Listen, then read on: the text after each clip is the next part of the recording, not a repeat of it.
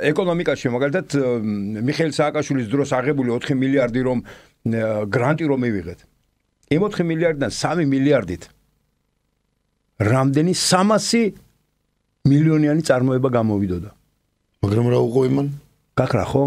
წარმოე 300 მილიონიანი და 3 მილიონიანი, 3 მილიონიანი 100 წარმოება თუ ბოდიში 1000 წარმოება გამოდოდა. ეს რამდენი სამუშაო ადგილია?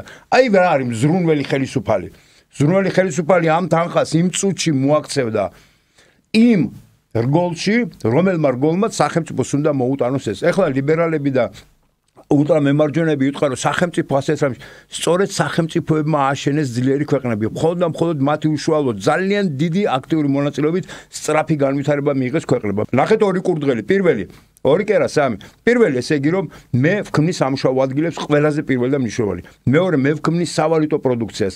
მესამე მე მეძდება შემოსავლები და სახელმწიფოს ბიუჯეტი იზრდება, იმიტომ რომ ყველა მეწარმე მყავს და მეოთხე აი ამ ეგრეთ წოდებული იმისი რა ქვია მომსახურების სფეროდან სამრეწველო სფეროში გადავდივარ. ჩვენ გვინდა ძალიან სწრაფი განვითარება. ჩვენ გვინდა უსწრაფესი განვითარება და მარტო ასე შეიძლება. რაც შეეხება სოფლის მეურნეობას პირდაპირ ვამბობ.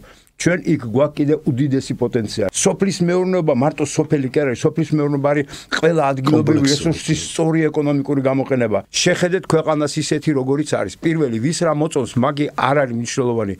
არსებობს კონკრეტული მოცემულობა, აი ამ კონკრეტულ მოცემულობაში რისი გაკეთება შეგვიძლია ჩვენ ესაა ჩვენი კრეატივი და ესაა ჩვენი ამოცანა რომ ის გარემოება მე გავხადოთ ისეთი როგორიც ჩვენ გვინდა ჯერ ისეთია როგორიც არის ამიტომ მარტო ჭკვიან ადამიანებს შეუძლიათ სახელმწიფო გაიყვანონ იმ ჭკვიან რელსებზე რომელშიც გარემო გახდება ისეთი რომელიც ქვეყანას ჭირდება. დღეს ეს გარემო რომელიც საქართველოს შეს პირდაპირ გეტყვით. ჩვენი გარემო არ არის ეს დასავლეთის გარემოა